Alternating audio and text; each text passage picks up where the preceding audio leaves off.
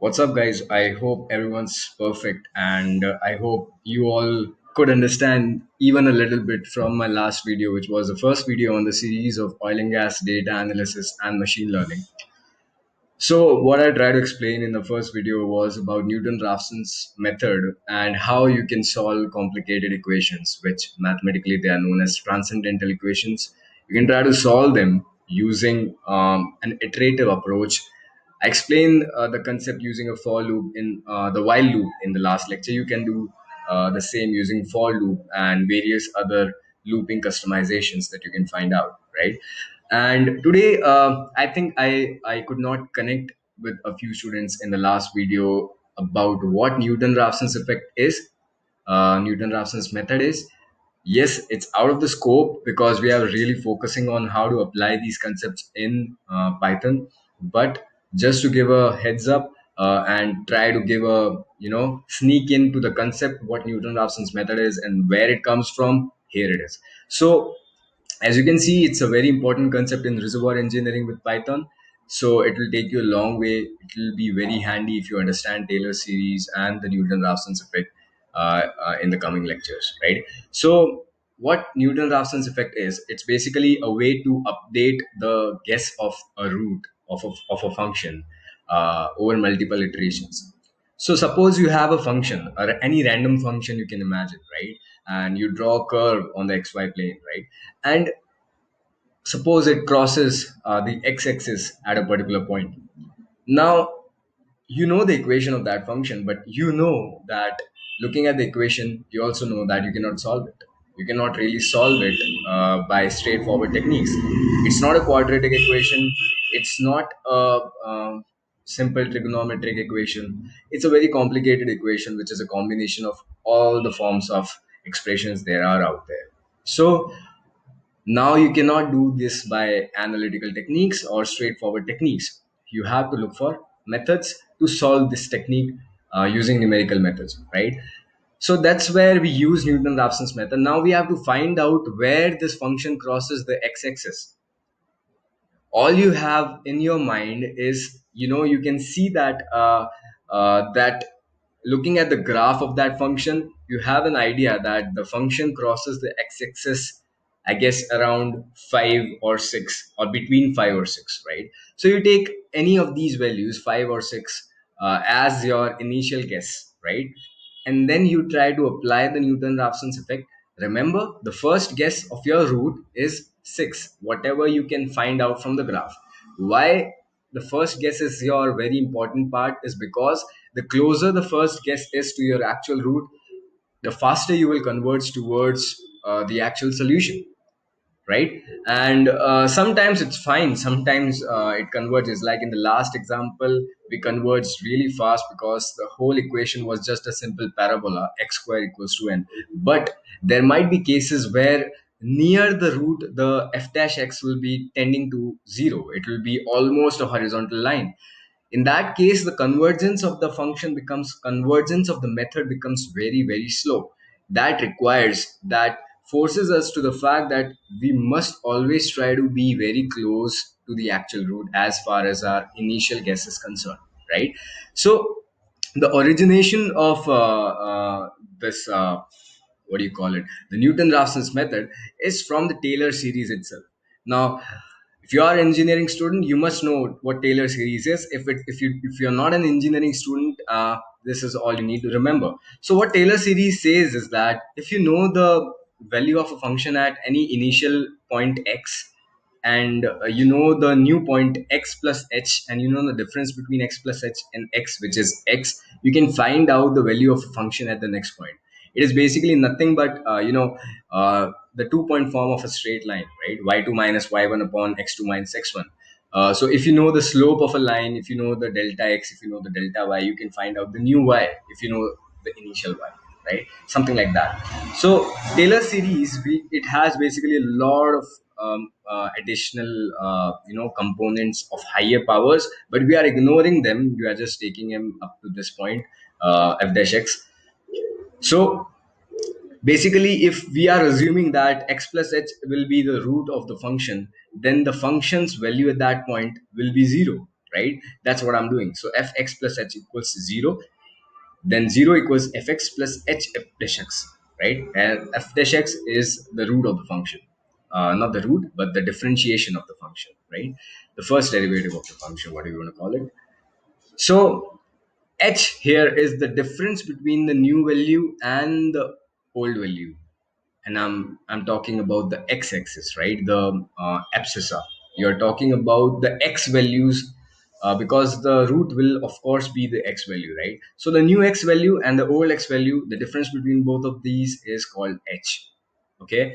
So ultimately it all boils down boils down to this equation like i told in the last lecture. Xn plus 1 equals xn minus something here's something if you try to just solve this thing which you see here xn plus 1 equals xn minus fx upon f dash x right? And like i said if your uh, function's derivative is almost tending to zero but which means graphically saying which means that your function in the proximity of your root is almost a horizontal line then this thing this something will be huge and you don't want this something to be huge because your ultimate criterion is you have to keep on iterating till the fact that the new xn plus 1 is almost equal to the old xn right?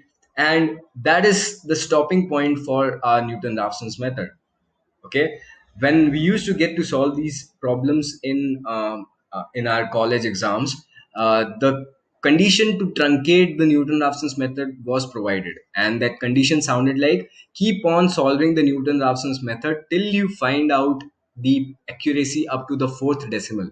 So what that means is keep on running the newton-raphson's method and stop only where three to four iterations you have repeated values up to the fourth decimal okay? So third iteration 5.645 fourth iteration 5.645 fifth iteration 5.645 so that means given that my roots are coming to be the same in every iteration that means 5.645 is my original root or approximate value of the original root right? So that's all about the newton-raphson's method. Now coming to the interesting part we will be explaining how klinkenberg's effect can be uh, you know uh, can be solved. So this is going to be your first mini project in your journey to become an oil and gas data analyst.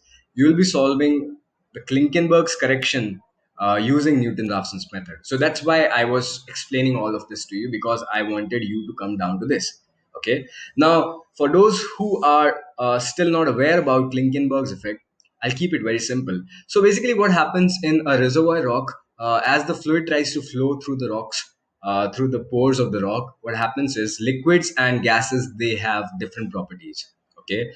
As a reservoir engineer, you want to find out the most representative value of the absolute permeability of the rock sample. But there are issues. In the laboratory, mostly we try to do this experiment of permeability finding. We do this experiment using air as the fluid now, mostly what happens is when you try to calculate reservoir permeability using air as the fluid or gas as the fluid, you will try to overestimate. You will try to find out a higher value of permeability rather than the actual. Why that happens and what we need to do in that case is exactly why Klinkenberg's effect is there. Okay, it's nothing but a correction we need to make. So just imagine close your eyes imagine there is a rock sample lying in front of you. Just imagine a grain which is lying there okay? There are two grains. On one grain a liquid droplet goes and strikes and on the other grain a gas bubble goes and strikes. Now you must be imagining it correctly the fact that the liquid droplet will go on hit it and bang it's there. It, it gets stuck there because it wets the surface. But the gas bubble it tries to slip through the rock sample. It tries to slip through the uh, rock grain. It does not stick it uh, stick to it. It just slips through.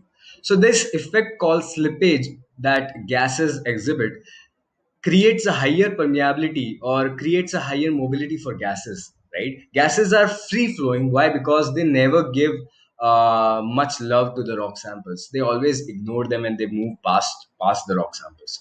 They will never try to so you must have heard in reservoir engineering books, gases are almost always the non-wetting phases. So ultimately, the original permeability of the rock would have been 25 millidarcies. But if you are using gas, you would have calculated 31 millidarcies. and that's wrong. That's incorrect so you want to make sure you apply a particular correction to this value of permeability and find out the actual permeability value which is 27 millidarcy.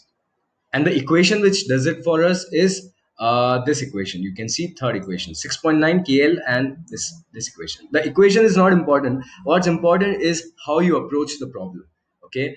In this case we want to find out the actual value which is 27 millidarcies rather than the 31 31 millidarcies which is more like the initial guess of the permeability right? Now let's see what we did over here. Okay? As you can see equation 3 can be used to calculate the absolute permeability when only one gas permeability measurement which is kg. So kg is the 31 millidarcy in the examples i just gave. So you have the gas permeability value but that's the incorrect. It's more like the initial guess of permeability. Um, so that's the uh, estimation that you have made. Then we use this equation. This non-linear equation can be solved iteratively by using the Newton-Raphson's iterative methods. The proposed solution can be conveniently written as this okay? It's nothing but this this thing written for permeability okay? Ki plus 1 i means the level of iteration. So i plus 1th iteration k is equals to ith iteration k minus fki upon f dash ki okay? Nothing but the newton raphson's method okay? So after solving for f dash x where, where uh, we have f dash ki equals to 4.416 ki uh, to the power minus 0.36 plus pm okay?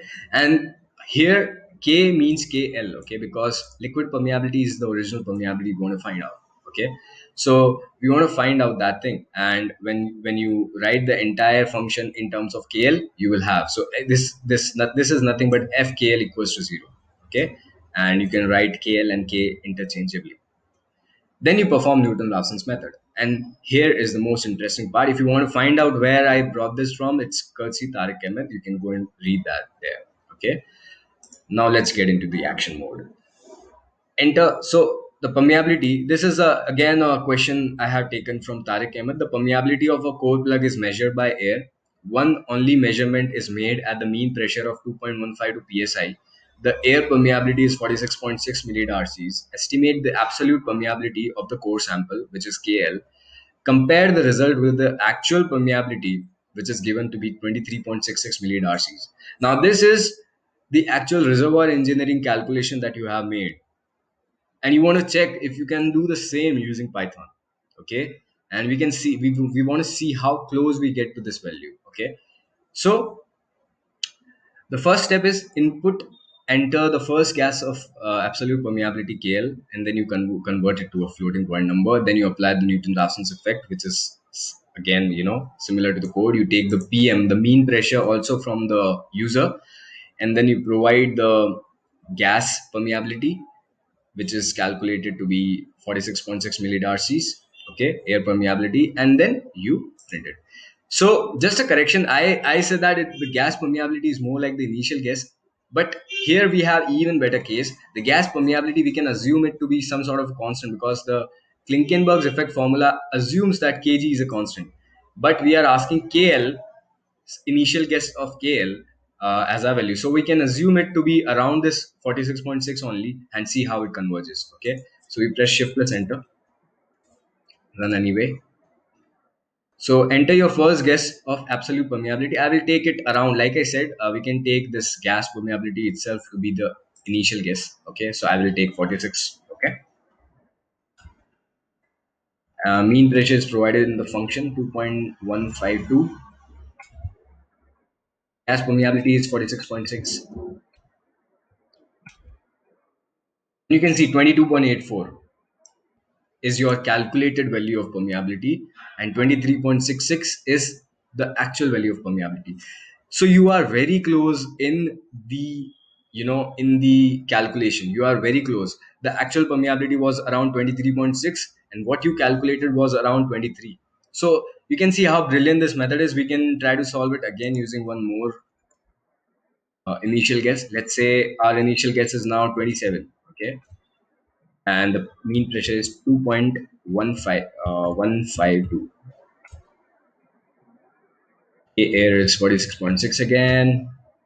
And you can see it's again around 22.84 you can do this multiple times uh, the fundamental of course is the same like i explained in the last lecture. We are taking uh, you can see the actual value minus the original value is greater than equals to 0.01 you can take it as small as you want it to. So i've taken 0.01 you can take it 0.001 triple zero one you know keep going and you will find out the best accuracy you want. Okay? Uh, let's do it for one final time.